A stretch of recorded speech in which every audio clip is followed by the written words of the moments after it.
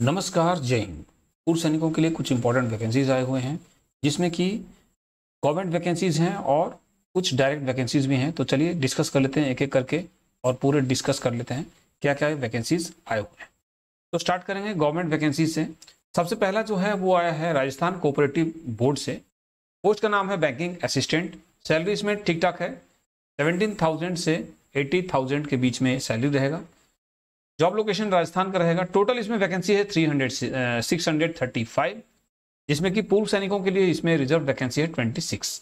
Last date to apply है seventeen of नवंबर दो हज़ार तेईस। अब इसमें क्वालिफिकेशन क्या चाहिए? ग्रेजुएशन चाहिए और डिफेंस ग्रेजुएट भी हैं तो इसके लिए सर्टिफिकेट इसमें वैलिड है। नेक्स्ट जो वैकेंसी है, गवर्नमेंट वैकेंसी, वो है कंपाउंडर का पोस्ट है और ये आया है आयुर्वेद डिपार्टमेंट राजस्थान की तरफ़ से। अब इसमें जो सैलरी है ठीक ठाक सैलरी है फिफ्टी सिक्स थाउज़ेंड से one lakh seventy seven thousand five hundred के बीच में इसमें सैलरी रहेगा। बहुत हैंडसम सैलरी है। जॉब लोकेशन राजस्थान का ही रहेगा। नंबर ऑफ़ वैकेंसीज इसमें है।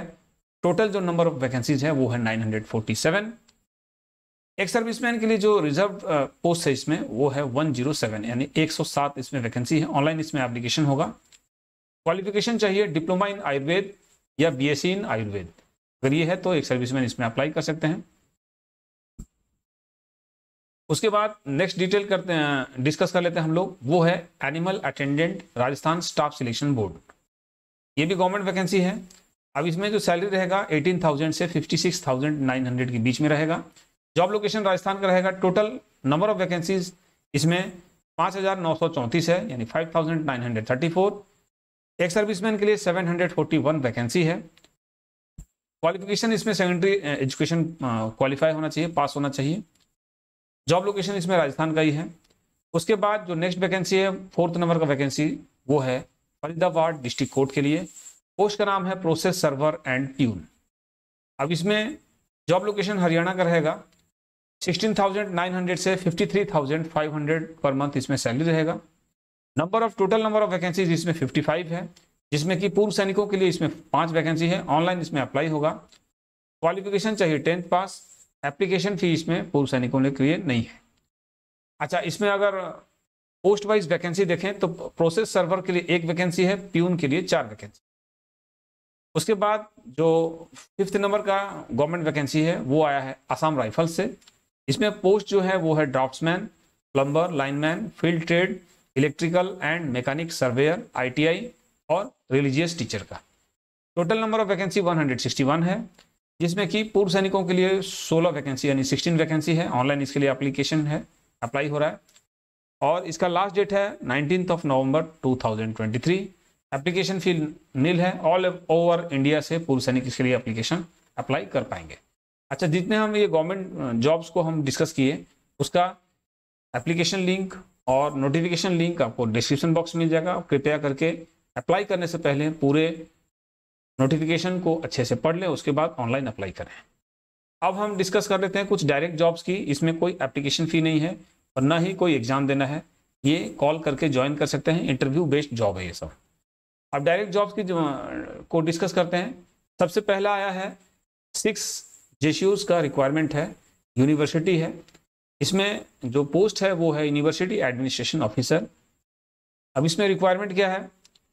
जेशियो होना चाहिए, उसके बाद या तो अंग्रेज़ी का ज्ञान हो या वहाँ का लोकल लैंग्वेज कन्नड़ का ज्ञान हो, ये दोनों में से कोई ज्ञान होना चाहिए, बोलने और लिखने आना चाहिए।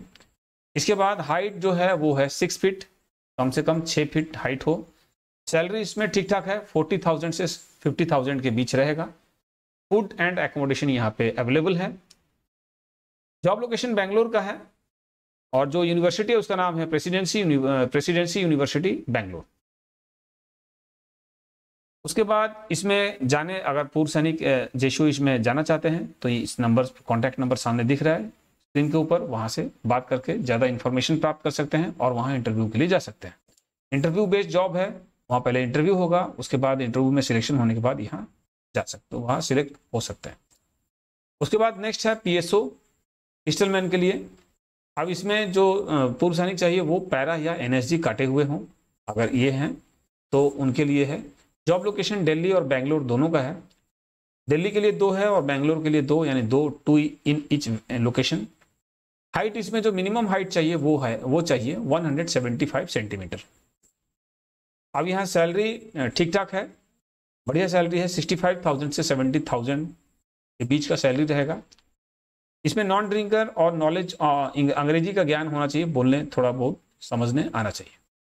कॉन्टैक्ट नंबर है, अगर एन या एन काटे हुए या पैरा एक सर्विसमैन है तो इस कॉन्टैक्ट नंबर पे कॉन्टैक्ट करके इस पोस्ट के लिए बात कर सकते हैं ज्वाइन कर सकते हैं। उसके बाद डिस्कस करते हैं नेक्स्ट वैकेंसी का।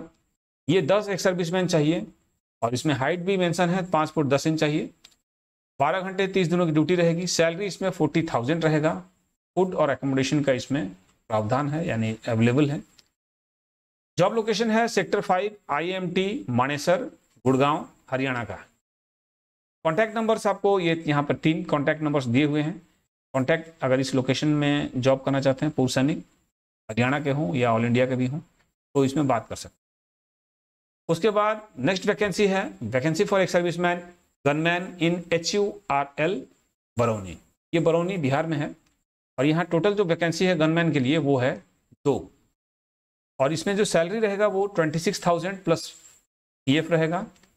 ऑल इंडिया वैलिड लाइसेंस चाहिए। उसके बाद आठ घंटे छब्बीस दिन, दिनों की यहाँ ड्यूटी है as per D G are norms लेकिन यहाँ पे एक है, यहाँ पे कोई एकोमोडेशन और फ़ूड का कोई व्यवस्था नहीं है। तो ये पूर्व सैनिकों को खुद से अरेंज करना होगा।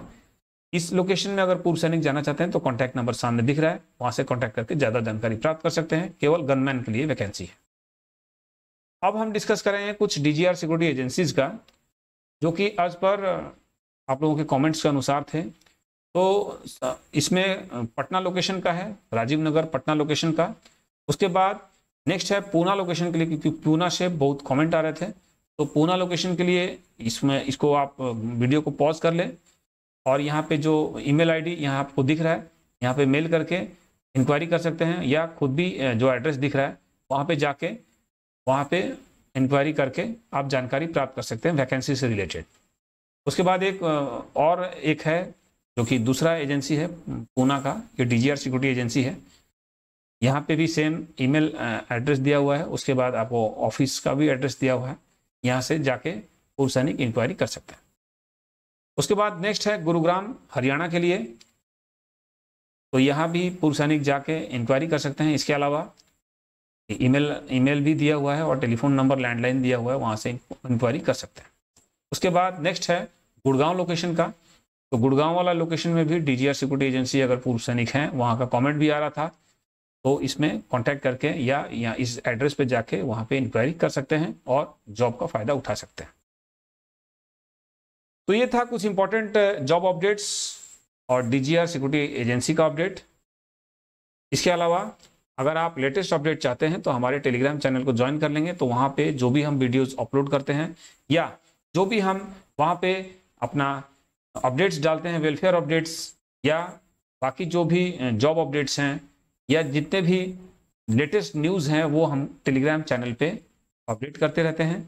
वीडियो पे नहीं हो पाया तो वहाँ टेलीग्राम चैनल पे आपको मिल जाएगा। टेलीग्राम चैनल का लिंक आपको डिस्क्रिप्शन बॉक्स मिल जाएगा। वहाँ से आप उसको ज्वाइन कर सकते हैं और इसे लाभ उठा सकते हैं।